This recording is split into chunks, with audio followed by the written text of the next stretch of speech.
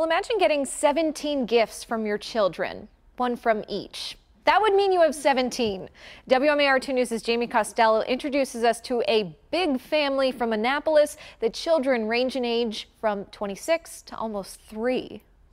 Their living room is like standing in Times Square on New Year's Eve. When I met Tim, love at first sight. Yeah. A year after meeting at the Acme Bar in Annapolis, they were married. A year later, Ah, their first baby arrived, who is now 26. Well, it goes me, then six boys. So after six, they just kept coming. The outside world always stuns this not even 50 year old by asking, Do you know how this happened?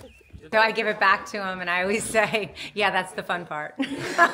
well, this is fun. This is the baby. She's Cecilia is two. It'll take till Friday to meet them all, but we'll try. Virginia just turned seven. And here's Brendon. I'm eight. He's eight. Francis is 10. Their 18th child, wink wink, is named Sam, middle name Club.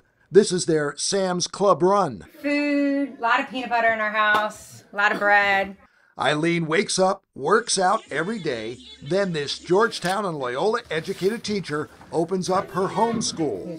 The older ones go off to St. Mary's High. Every time my kids get a driver's license, I'm like, thank you, Lord. It just helps me get one more person somewhere without me doing it. Every night they bless their food and share the day over dinner. Never a dull moment. You never get to be alone. Sharing a room with three other people upstairs. you always have someone to like talk to. You, you're never bored. Rosie, is five. Several of the men in the family are following dad's boots through the Naval Academy and serving, like Timothy Jr., a Marine married to Lucy, and they had their first baby. It's crazy out there, you know, a lot of lot of threats uh, globally.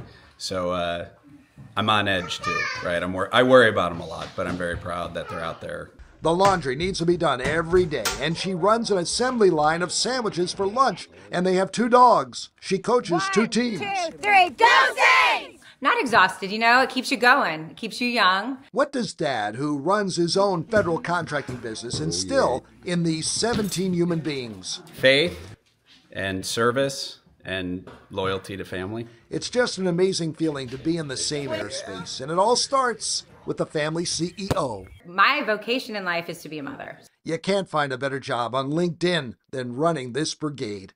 And we leave you with one final question, and I know you know it's coming. Will there be more? No, there will be no more. no. Wow, they do use hand-me-downs, but mom wants them all dressed alike, so that's uh, tough, but they make it work. Allie, we're, we're watching that. We're saying yeah. we're tired just watching that. I, I, I want to know, too, like, how do you get a dinner table that's big enough to accommodate? I feel like you have to get one specially made. I mean, we